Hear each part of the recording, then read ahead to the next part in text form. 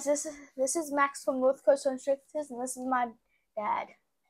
How's it going, guys? Welcome back to the channel. Reason why I wanted Max involved in this video, it's because one of the most important things about this industry and the reptile hobby, the reptile industry as a whole, we've got to keep people interested, and we start that with our children we get take them to expos, we get them involved in the hobby, our hobby, because they're going to grow up loving snakes, reptiles, geckos, whichever reptile you like. And you have to start doing it from a young age. I got involved in reptiles when I was in my 40s. Okay. I was a game ranger in my 20s. I think if you've watched my videos from right from the beginning, I think most of you that are regulars on this video on this channel know that I am an ex-game ranger here in South Africa. But I used to work with mammals and, and whatnot, you know, zebras, giraffes, lions, ti uh, tigers, tigers in there, uh, lions, leopards, elephants, buffalo, wildebeest, impala, kudus, uh, you know, basically what you see if you're going on a game drive, okay? The, the animals that you don't really see when you're out in the bush, in the African bush, and I spent many years in the African bush, and I still do. We often go. In fact, Max is a junior game ranger. He's part of the Rhino Rangers. He did a course a couple of years ago, so he's a junior Rhino Ranger, and uh, he has got an affinity for the bush. And Max actually wants to be a veterinary game ranger one day when he's older. Well, we'll see. That's what he wants to be now. We'll see what happens when he becomes a teenager. So I think it's very, very important to have him here to talk as well to the audience. Who I hope there's some some children watching. Um, and if you're a parent, go grab your kids and bring them into the lounge. Or if you're watching this on TV, bring them into the lounge. If you're watching on your laptop at home or wherever, maybe maybe replay this video to them later. You know, it's so important to get the younger generation involved so that we can keep this hobby alive. Okay, because he grows up loving snakes. He's already catching snakes on his own. If there's a brown house snake lurking somewhere uh, at his mother's house, his mom and I divorced, um, but we live in this like literally, you know, probably about two, three hundred meters apart you know, uh, we don't live far. Um, you know, she'll send me a video of Max catching a harmless brown house snake and releasing it into the bush. Anyway, Max is the reason why we got involved in ball pythons because he wanted a pet snake and I bought him a pet ball python in 2019. Okay, December 2019 for Christmas, I bought him a normal wild type female ball python. Okay, why did you want a ball python, Max? Because I love snakes and animals. What was it in particular about the ball python that you liked? How calm it is and easy to handle. They're so docile, docile, docile, and they're so easy to handle, and they don't grow that long. They're not venomous, and they're easy to handle because they're not that whoopy. Because we also got a corn snake. We had a corn, we adopted a corn snake from his cousins that went out and didn't do research and went and bought a corn snake. It was too whoopy for them to handle. And listen, guys, please don't get me wrong. I'm not knocking corn snakes. What I'm saying is why ball pythons in particular, and what Max is trying to explain is that they're not these whoopy quick snakes that can, like, if they fall out of your hand if you can't control them properly, uh, even as a hatchling. Look, they can still be pretty whoopy. Okay, don't get me wrong. But as the older they get, they they get they're a lot easier to handle. Okay, uh, with the big with the the colubrids and so on and so forth, brown house snakes, corn snakes, things like that, they can get. Uh, or uh, Ridley's cave dwelling rat snakes, we had one of those as well. Very very difficult to handle. Very very difficult to handle. I can ask Max to go up to any one of our containers here and to pull out one of our adult ball pythons. Um, okay, there are some, okay, don't get me wrong, we snakes have got personalities, okay, so you can get some that have got a bad personality, some that have got a good personality. But Usually, when you buy a ball python, you're going to buy a hatchling. You either get one for your for your son, your daughter. Start off with one, it becomes it's a pet.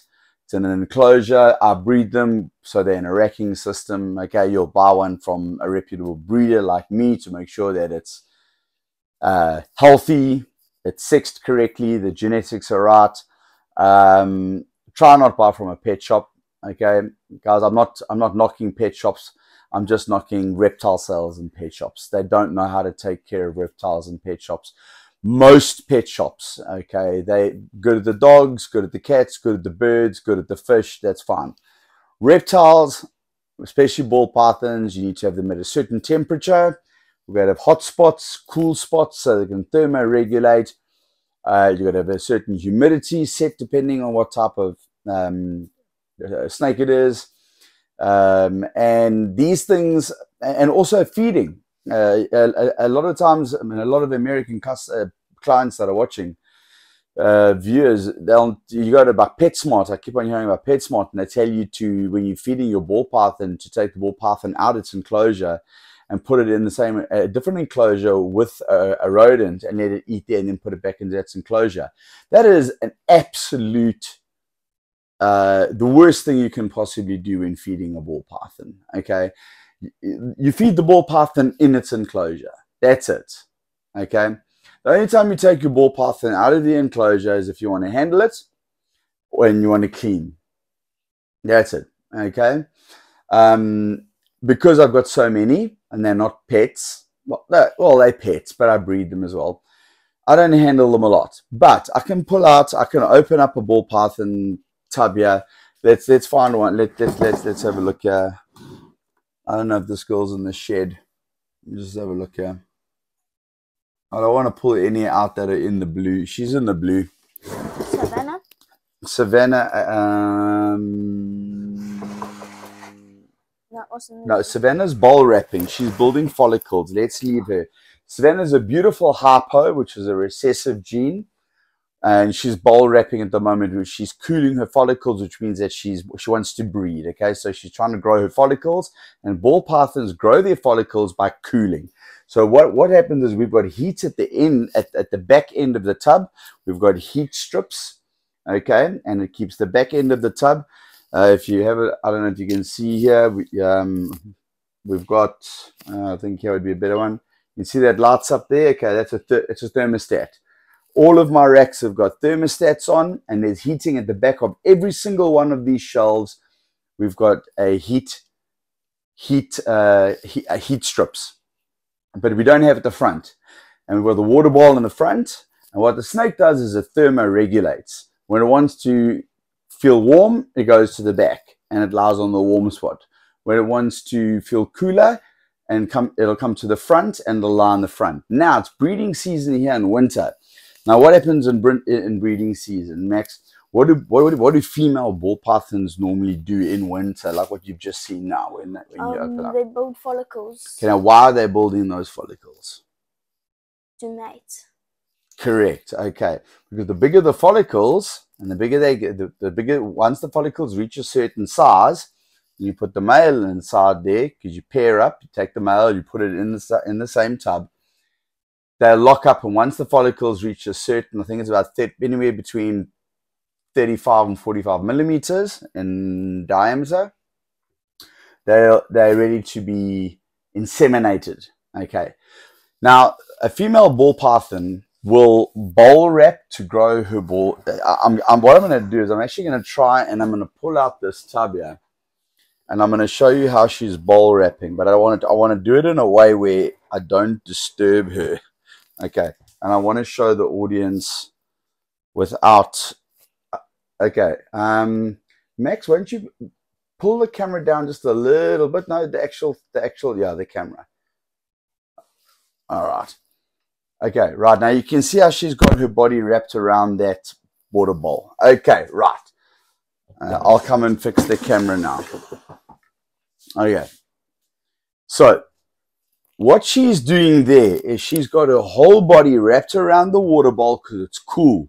And that bowl is on the cool side of the, of the tub. Okay, there's no heat mats there. And the coolness makes the follicles grow. And the more the follicles grow, the bigger they get, the closer she'll become to you, the better chance she has of becoming gravid. Gravid is the reptile snake term for being pregnant. Okay. So that is a good sign. That is a good sign. So when your snake, like this snake here, she is actually, she is in her water bowl. Okay. Look how big she is. This is a big, beautiful GHR, 100% het axanthic. In fact, it may look like she is ovulating or, or this is just a really big build. No, it's a build. She's not ovulating. If you look at the back of the tail and by the clo between the cloaca and the tail, sorry, at, the, at after the cloaca, if it's going into a V shape, it, it, it means she's she's pretty much ovulating. But she is cooling. It means she's building her follicles. Come, boy, be involved. All right. So when those follicles reach a certain size, they become ready to be inseminated. Okay. We take our male ball pythons, and what we do is we pair them up once a week. I've got a rack here on this side of, we'll just move it across here. I've got racks around this whole room. This whole rack here are all male ball pythons. I do have a few behind there which you can't see. I've got some inside there. All the red tags are males, okay? But my prize, prize breeders, the top choice, are all in this rack here. There are 12 of them, okay? And each of these males are going bet with between two and four, but between two and five females, okay? Not all of them are going to go. Now, what we do when we're breeding these snakes, okay, is we wait until winter because that's breeding season for winter because it's cool. The follicles grow. You must understand that out in the wild, there is no thermostat, there is no heating, there is no place for the snake to go to cool down. It'll go into the shade. Okay, if it wants to get hot, it'll go out of its burrow and it'll go lie on a rock somewhere and it'll warm up. It'll thermoregulate naturally. Okay, but when it's time for it to breed, it will do it according to the seasons, which is winter. So it's winter now, and we're pairing up. But I've got this room as an as an air controlled room. I've got an air conditioner. We keep the room at between 24 and 25 degrees Celsius. 24 hours a day, okay, during the breeding season. At night, from 7 o'clock at night until 7 o'clock in the morning, okay, let's, let, let's not jump ahead, okay. Let's see if you can remember. What is the best temperature around about, to the best of your knowledge, to keep your ball pythons on their hotspot? Um, what? the hot spots at the back. What temperature should it be? 30, 30 to 30, 30 to 33. Correct, 100% correct. 33 is a little bit high, okay, but between 30 and 32 and a half degrees maximum. 33 degrees, yes, you can keep them at that. No, it's not, it's not a problem.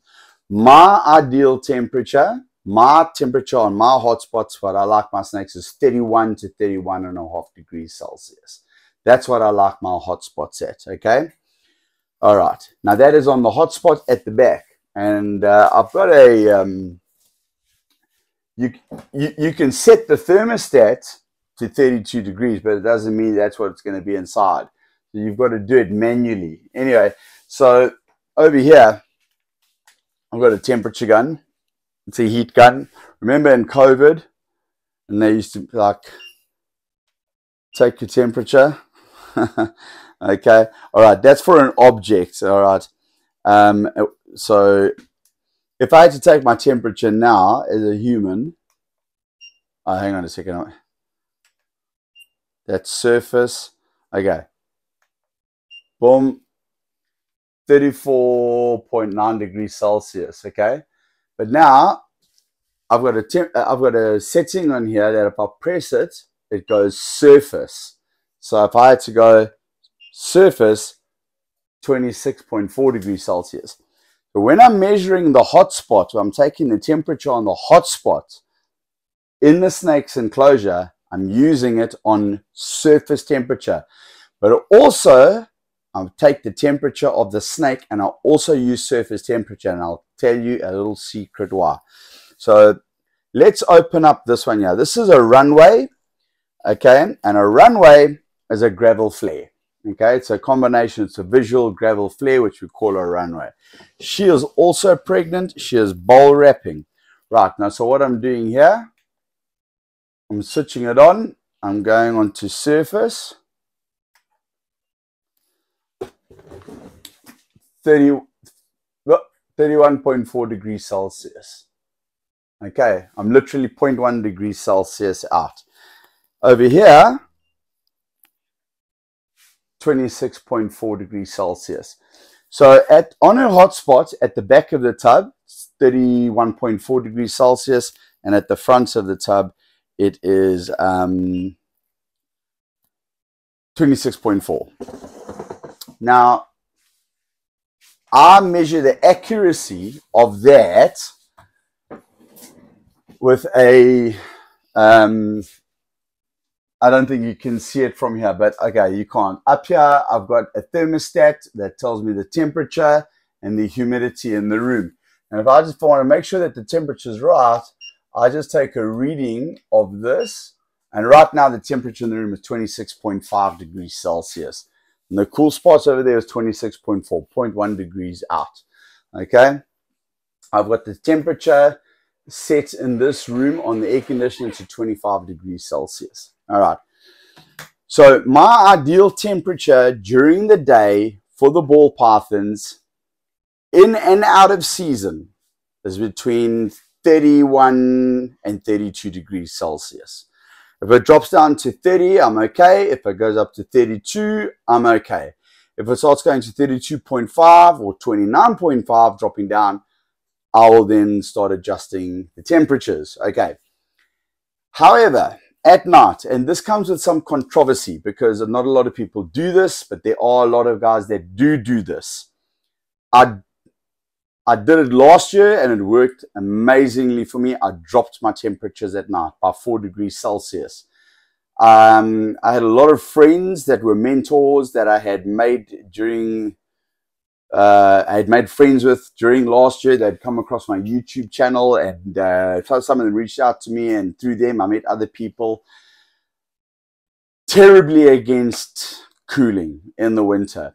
The thing is, you guys must understand that we have now taken these ball pythons out of their natural habitat. Okay, there is no thermostat to cool down.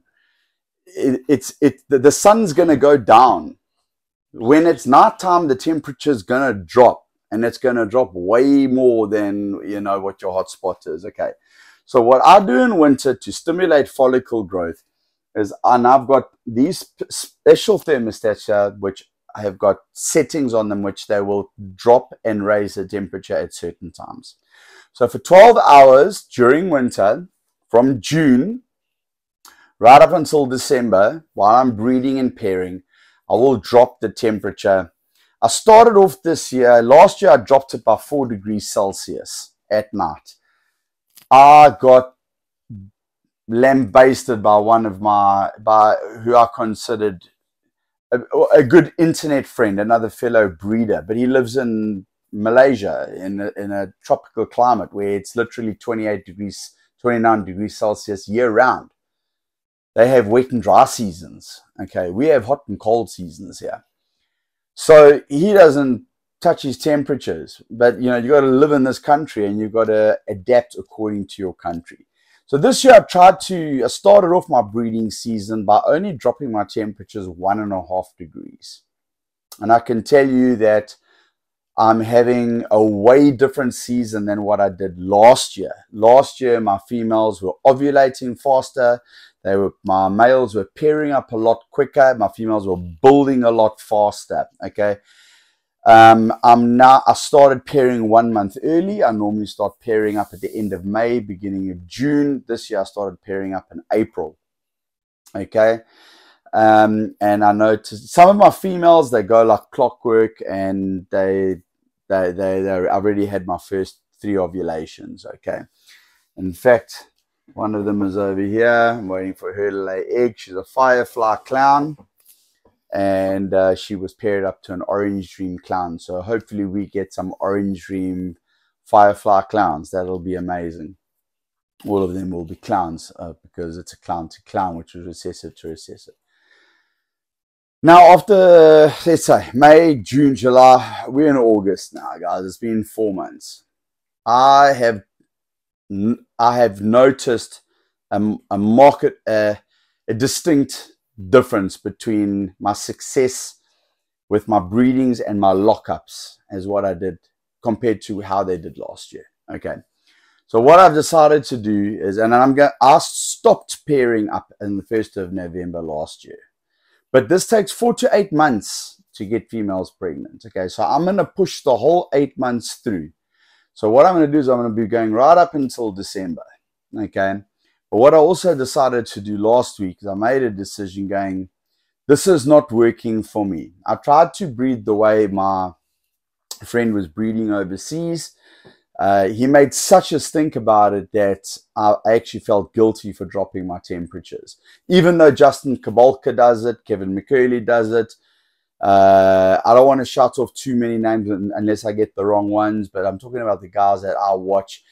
Uh, Brian Barczyk, they all drop their temperatures in winter for 12 hours. Every single one of them. And they are the most successful ball python breeders in the world. So if they're doing it and it's working, I don't see why it's wrong. Okay. Now, after four months of trying it by dropping the temperatures only one and a half degrees, don't want to uh, drop things too seriously. I've noticed that my females are not locking up as fast as what they used to. And I'm noticing that my males are not locking as quickly and as because you cool the males as well. The males cool down. You also understand, guys, what happens when you cool down with the males. Um, testosterone? Testosterone? It rises. Oh. Okay. Everybody knows heat kills sperm. Okay. Heat kills sperm. So a male will have strong, produce more test, have more testosterone, produce more sperm in cooler conditions. So we have our males in here and we keep them at cooler temperatures. Okay.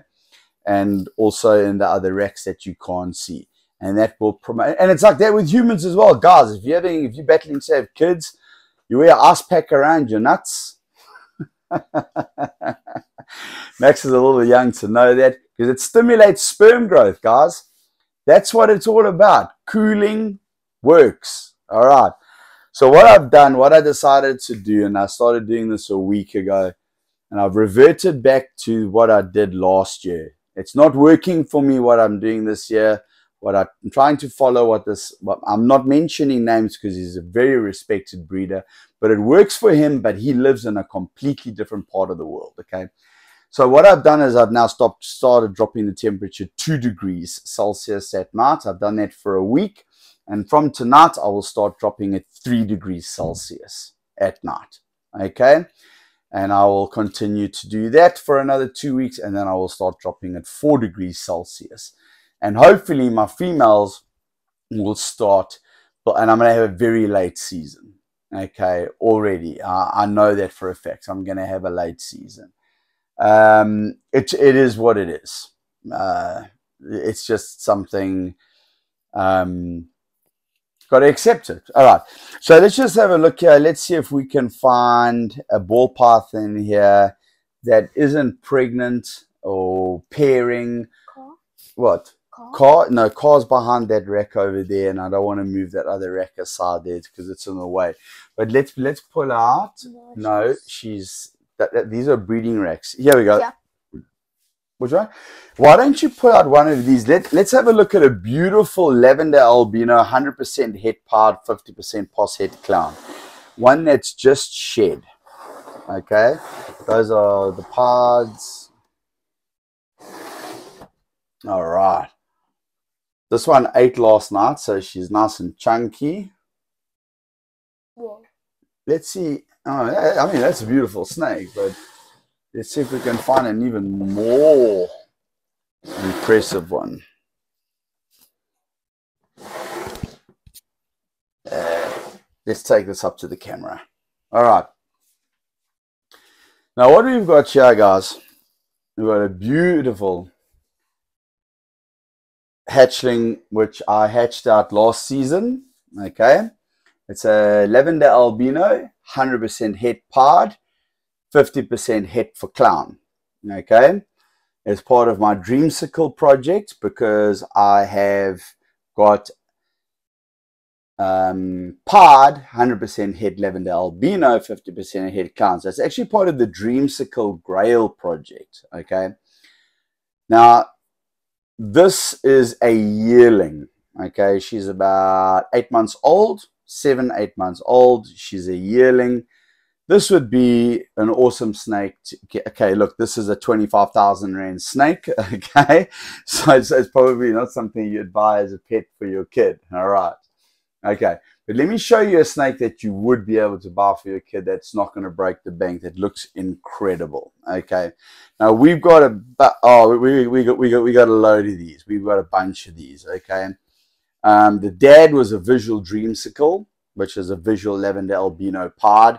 And the moms we were busy proving out. And one proved out 100% het pard, and the other mom proved out 100% het lavender albino. Okay. So I just got to, which, which tub did I take her from? Here we go. All right. Okay, we had a little bit of a camera malfunction over there, but we're back. What are we going to do? That, that snake is a very expensive snake. That's part of the Dreamsicle and the Grail project, which is also part of the Holy Grail project. A Grail is a lavender albino clown. A Dreamsicle is a lavender albino pard. And a Holy Grail is a mixture of all three lavender albino clown pod, which is what we're working on. But let me show you a snake that you can buy for your for your little rug rat, little your, your crumb snatcher. What, what I call we call them crumb snatchers. Uh, when he was young, when he was still on all fours and couldn't walk, he was a crumb snatcher. As soon as he could start to walk, um, he became, yeah, he was a rug rat. Then he became a crumb snatcher, and now he's a yard ape. What's a yard ape? a yard ape. You can walk and run around. You're like a. You're still not a teenager yet. You're a yard ape. Okay, so let me pull out. Me pull out a lovely snake here. Beautiful in color. Absolutely stunning in color. All right, come and have a look here. Max, you hold the snake up. All right. We'll show it to the camera. Now, this is a banana or a coral glow. Okay. 100% het for pod, but you can't see the pod, okay? But it's 100% het for pod. The dad was a visual um, banana clown, and the mom was a 100% het, het for clown. So we didn't get the clown gene on that, but it's because the mom, uh, uh, hold up, my boy. So because the mom was 100% het, we did get, we did get some banana clowns. Um, they've been sold. And what we are left with now are banana 100% head counts. Now this will set you back about 1200 Rand, 1200 Rand. If you're in America and you're a little bit confused about the exchange rate, 1200 Rand, all you have to do is divide it by 20. That's how weak our currency is. So let's say we've got a 20,000 Rand snake here. That's $1,000 basically. Okay, so that lavender albino 100% het pard, 50% het clown, that's 20, 20 between 20 and 25,000 Rand. You'd be able to get that for just over a thousand dollars. And that's a female. Okay. Uh, our exchange rate is absolutely shocking, but we live in South Africa. It's an African country, and uh, we have a very corrupt government, which is why uh, no one wants to invest in this country, and we are in the middle of a financial crisis because also America is pretty screwed up with that um, excuse of a president that you got that America has got going for it at the moment, which is the whole reason why Vladimir Putin invaded Ukraine and they killed the Keystone pipeline and the price of fuel went up. And this is all a chain reaction as to why people are not selling snakes because you're paying double to fill up your car. You're paying double to put groceries in your fridge. You're paying a lot more for your energy, for your heat, your uh, where I live, it's very hot, so air conditioning, and you don't have extra money for snakes. Okay, so yeah, just like you've got your problems in America, we've got our problems in South Africa as well. Okay, so, but this would be a beautiful pet. This is a lovely animal. It's visually appealing to look at. It's lovely. It's banana. They call it a banana or a coral glow. It's just that two guys came up with this gene at exactly the same time without knowing it. One guy named it a coral glow. One guy named it a banana. And there was, there's still this big dispute on why. Okay. Anyway, so that is a great snake. If you want to go for something that is even cheaper, all right, you want to buy something that's a bit cheaper, doesn't look as good, but it still looks like like a buck, a puffin or whatever, then you can go for something like a Mojave or a normal, okay? All right, so what I'm going to do is I'm going to pull out a, um, let's, let's have a look here. Oh.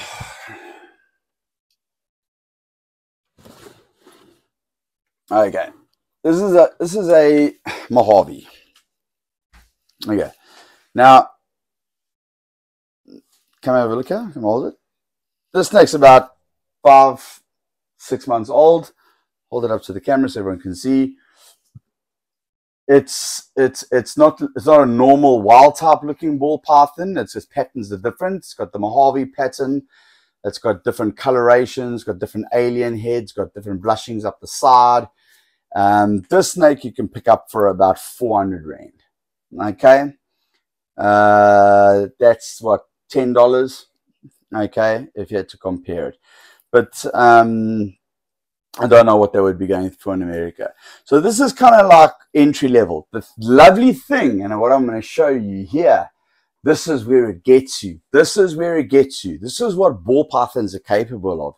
If you pair a Mojave to a Mojave, you get a super Mojave. And what is a super Mojave? Uh, Come on, my boy, you know this stuff, man. um, uh, blue-eyed cystic. Correct. A blue-eyed leucistic. Not all of them will be blue-eyed leucistics, okay? But half the clutch will be blue-eyed leucistics. Blue-eyed leucistics. Let me see if I can find. Uh, let me see if I can find it.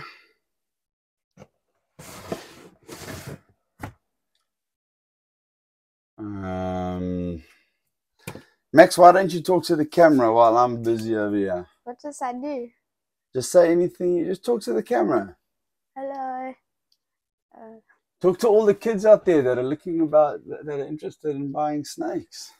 um, if you're looking to buy snakes, you should buy from us. Uh, well, if you're in South Africa, if you're in South Africa, you buy from Northcoast Constrictors. We've got an Instagram Instagram page um called Northcoast underscore Constrictors over here. You must like and subscribe. Uh, hit the notification bell so so you'll know uh, when we upload another video, and uh, oh man, I can't find where the Super Mojave is. and share and share this video with anybody that you know. We're trying to reach the we're trying to reach a thousand subscribers. Um, Come on, boy, you can do more than that. I don't know what to say. Um, um, shout out to all the kids watching. shout out to all the kids that are watching, 100%. Um, and if you want to subscribe, it's totally free, and it and to s- and you don't subscribe, then unsubscribe, then subscribe again. That doesn't work. You just need to subscribe. Uh, what else? Okay. Okay, I I I'm trying to find. Uh, okay, guys, We'll be back with you in a second while I try and find our Super Mojave, which we produced this year. Back in a flash. We're back. I had to find our Super Mojave. Okay, right. So before I bring it out, I want to show you the Mojave. Okay. I'm going to put out the Mojave again. Okay. okay, so this is the Mojave. This is what a Mojave looks like. And you breed two of these together. Max, hold this. And you get this. Okay. Now you can tell this is what we call a blue-eyed leucistic. Okay, because it's a white snake with blue eyes. But we can tell that the pairing is Mojave to Mojave. Okay, or Mojave to lesser. Okay. Sorry, Mojave to Mojave because it's got a gray head. Okay, now if you pair Mojave to a lesser or a lesser to a lesser, you can get another blue-eyed leucistic that do, does not have this gray on the head. Personally, I love that gray head stamp. I love it. I think it's incredible. I think it's awesome. Let me put both these guys back. All right. So, what I'm going to do now is I'm going to show you another snake that is a blue-eyed leucistic as well. Just have to move that across there. Pull this girl out. She's a bit bigger, she's a bit older. This is also a blue-eyed leucistic. She's a bit older, but as you can see on the head here, won't you hold this one? She does not have a grey stamp on her head. She's pure white all around. Blue eyes. She's got a very, very faint yellow dorsal stripe. There might be something else in there It might be a bit of phantom inside there, whatever, but it works with the uh, within the bell complex, which is blue-eyed leucistic. But Mojave to Mojave, 50% of the babies will come out looking like the Mojave, and 50% of the babies will come out with a white snake with a gray head. You pair Mojave, you, you, if, if I pair this Mojave to this snake, they will all come out white. Okay, all of them will come out white. Okay, all right. Because bell, a bell to a bell will give you a bell. The only thing is, guys, if you breed a lesser, this is a lesser to a lesser, okay? Um, but if you breed a super lesser to a super lesser, if I, if I breed this snake to another bell, which is, hasn't got Mojave in it, okay, you can get um, certain birth defects like shark jaw, duck bill, overbite, underbite. A shark jaw is overbite a duckbill is a very very it's very goes narrow and then it goes out you know on like a duckbill you can get bug eyes and you can get pin eyes and that is only on the super lesser so your safest bet if you want to produce pure white snakes is to is actually to breed a lesser a blue-eyed leucistic which is a lesser that had that it's come from a lesser not a super lesser a lesser to a lesser. This is a lesser, guys. Okay, a lesser is the same as a butter. Okay, all right. That's another thing. I'm going to show you another snake that produces a blue-eyed leucistic. This is a lesser or a butter. You pair two of these together and you'll get this. 50% of the babies will be all white but with no gray head stamp. Okay, that's lesser completely different genes, completely different look, I mean, okay, and genes. But if you breed a lesser or a butter, and it's the same story with coral glow and banana, two guys made le uh, lesser, one called it a butter, one called it a lesser, okay.